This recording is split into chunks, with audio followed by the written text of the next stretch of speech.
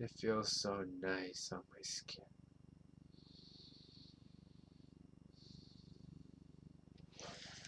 Ah, I could sleep on this pillow all night long. Ah. Alright, I am definitely starting to feel tired.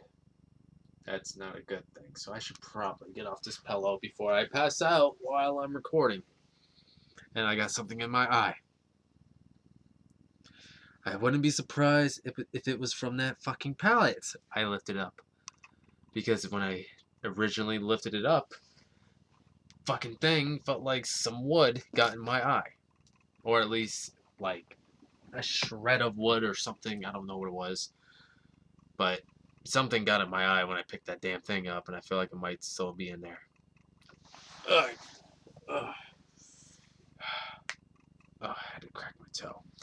All right, I'm sorry about that. It's my bad toe. I told you get I told you guys about when it came to my medical medical issues. Uh, all right. So with that being said, let's start off, or not start off. Oh, God, my back's killing me. Ugh. I'm so sorry that this intro is pretty long.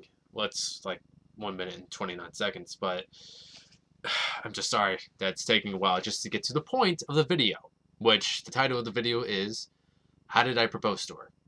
And this is going to be the second story that I'm going to be telling you guys for, for today. And I don't know when another, if you guys want to know like another story, you know, just tell me, just, just to say, if you guys want to know another story about my life, you know, just ask or comment down below, like, say, like, something you would like to know about me, something like that. I don't know. But I'm just saying, you know, if you guys want to know just a little bit more about me, I'll make a video about it. But yeah, for right now, this is going to be the, mm, this is going to be the last video that I'm going to be telling you guys the story about about I don't know why I'm I'm like having trouble breathing. But yeah, this is, for right now, this will be the last story I'm going to tell you guys for quite some time. So, let's get started. And the cat is meowing again. I should have killed that cat when I had the chance. I mean, what? No, I'm just kidding. I never had a chance to kill it. I wouldn't kill it. I don't. I, I am very, very heavily against animal abuse. Which is why I have to block some people when they post those fucking videos up on Facebook. Shut up! Anyways, let's get on with the story. Because I'm pretty sure you guys are like, just get on with it! Oh, that's actually helping my back. Anyways, alright, so it was of October 2014 that, you know, I pretty much realized that I was ready to propose. And like I said in the other video, you know, how did I meet her? I did propose to her twice or at least not technically propose. I didn't have a ring with me, but the first time it was basically I was scared that I was gonna lose her because she was starting college. It was like a whole new different world. But um, ugh. And the second time I don't really remember, but I know it happened. So, you know, I, I I've done it twice, but they were more of a stupid, immature type of proposing. Like it wasn't like I was ready and I didn't really think about it. It was just more like I felt like it was like my last chance for something. I don't know. But uh it was of October 2014. I flew up there for a week to go see her. And it was I think it was also let me think. Yeah, of October 2014 when I did fly up there, that was the first time I ever flew on a plane. So I pretty much faced my fears just to see her. But it was when I was flying back, I realized to myself, you know, I love this girl. Now, granted, you know, I knew I loved her for a while before that. But this was that, this was like this next type of love where, you know, you just you, you just don't want to be with anyone else. Or how's what's the best way to put it? Because when you love someone, you know, you basically don't want to be with anyone else. You know, you want to be with them. And uh, me and her both realized we loved each other very early on in our relationship. It was in our first year. But it was when I was flying back to Florida, I realized, you know, even though I love her a lot, I care about her, I accept her for pretty much everything that she is. I just did not want to be away from her. There was that feeling of I truly feel happiness when I'm around her because experiencing life without her in Florida and then being with her in uh, New York, it made me see how much happier I am with her and how much I wanted to be with her and not have pretty much not it's just so hard to explain that feeling of when you're when you know you're ready to propose but you know i knew i wasn't ready for marriage because you know i'm not financially ready.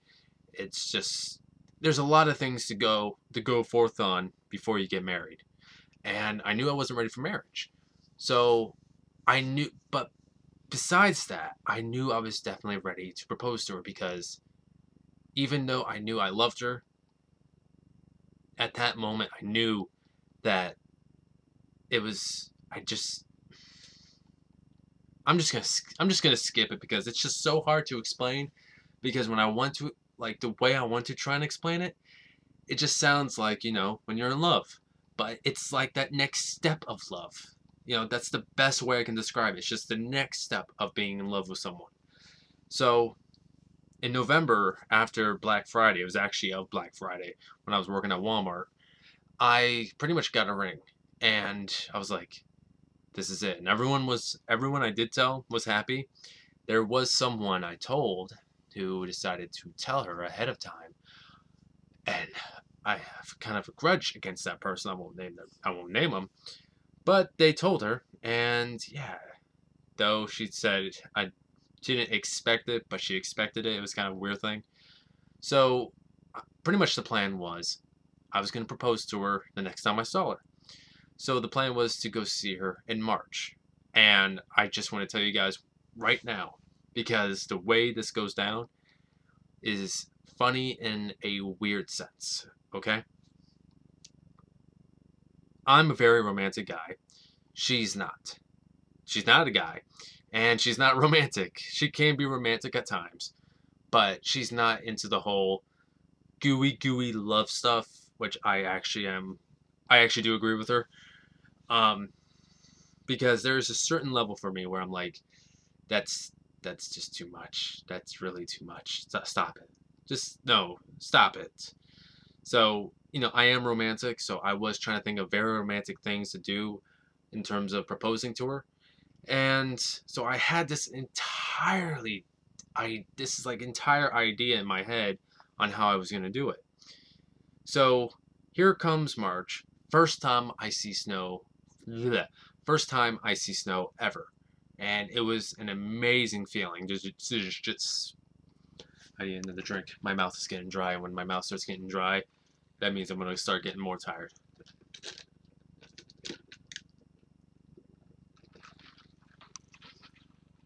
Woo! Tyrone Magnus. Ah. But anyways, you know, just seeing the snow was just a very amazing feeling to just see it for the first time. To just touch it, roll around in it, throw snowballs, dump snow on her. Pretty much all that was happening to her, by the way. I was throwing snowballs at her, dumping snow on her. But it was just a really amazing feeling. And I don't want to get too much into it because it was kind of a personal thing. But essentially, you know, she was kind of feeling down on herself. She felt like, you know, not, she felt like one day I was going to leave her, you know, or it was something along those lines. And, you know, I just kept telling you know, I'm not, I'm never going to leave you, you know, I, you know, I, I just, I, I kept telling you know, I loved her and all that kind of stuff. And, you know, I just, I wanted to assure her that no matter what happens, nothing was going to push me away from her. You know, it was just, you know, I just, the way I feel about her is just, she does a lot of things that you know we both do a lot of things to each other that makes us both happy to be with each other. And you know that's what i was trying to tell her you know it's like like no matter what happens even though we're so far apart i don't i didn't want things to end because and she didn't want things to end either. So she was getting kind of down on that. So later that day i i grew balls in short. I had to ask her mother permission for her hand in marriage. And my god i was so fucking nervous.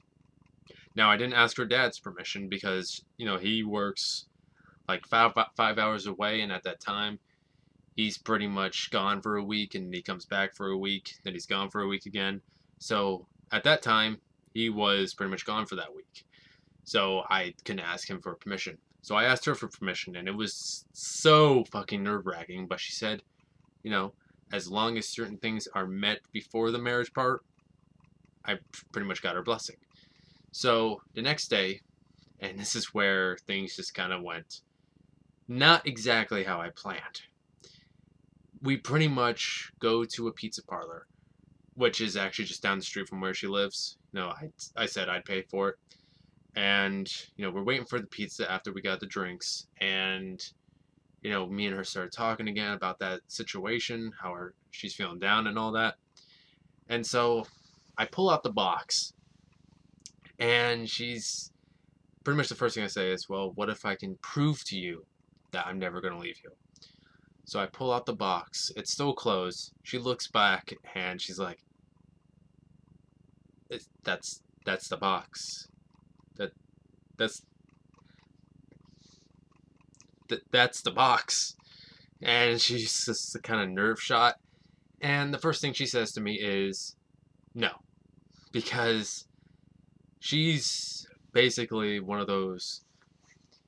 And for her, she really was focused on she's still focused on school you know she, that's her main priority no matter what.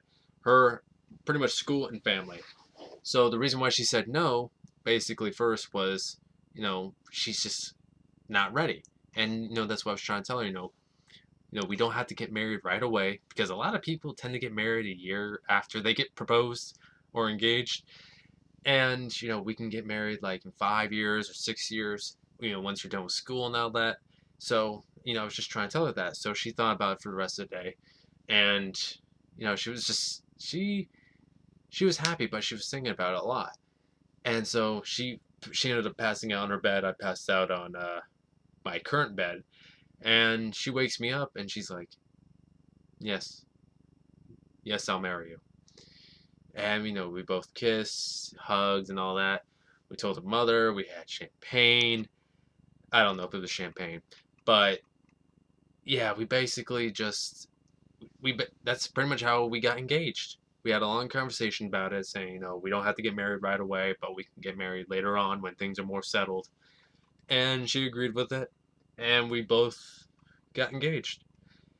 And you know what the funny thing is? And this is the one thing that truly makes me feel like this was meant to be. Because I'm not a believer in God just so you guys know, I'm not religious.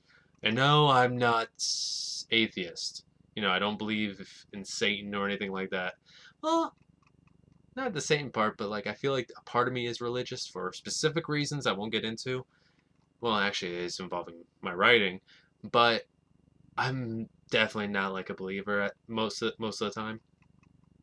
But when it comes to this, I feel like it was meant to be. To be engaged to her to marry her one day because me and her got together. Me and her started dating on October 3rd. 10 3. Okay? The day I proposed to her was March 10th. A day I didn't plan on proposing to her, by the way. I didn't even know what day it was. It was actually a Wednesday. I'm, i was thinking back because I actually requested requested the 10th and the 11th off of March but I didn't even know what day it was. And when I realized that later later in the week, I'm like, you know what? That's actually kind of creepy.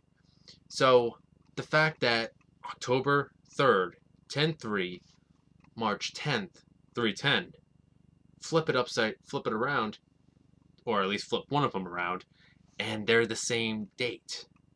So that definitely makes me feel like that this is meant to be. It really makes me feel that way. So that's how me and her got engaged.